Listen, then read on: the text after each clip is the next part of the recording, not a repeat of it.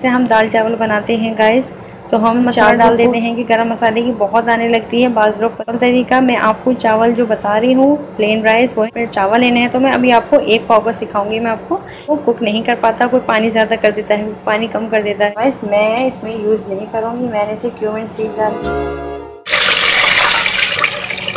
पानी मैंने थोड़ा मैं इसमें डाल दूँगी वन टेबल स्पून सॉल्ट आप नमक जो है अपने हिसाब से डालिए। ये होता है, थोड़ा तेज़ होता है तो डजन मैटर आप जो है, जब भी है, मैं इसको फाइव मिनट मिनट जो है राइस किस शेप में आ चुके हैं। ये देखें हाफ़ मैंने लिया ये ये मेरा हाफ़ कप वाटर जो मैंने डाला है हाफ़ टू हाफ़ इसको तकरीबन मैं रखूँगी 15 मिनट्स ठीक है? आपने टाइम मेरे बनाइए, आपको बहुत पसंद आएँगे बिल्कुल प्लेन राइस के बाद हम इसको देखेंगे, बिल्कुल बहुत बिखरे, निखरे निखाऊँगे कि हमारे राइस देखिए कितने अच्छे कुक हो चुके हैं, कितने अच्छी लुक आएगी। My video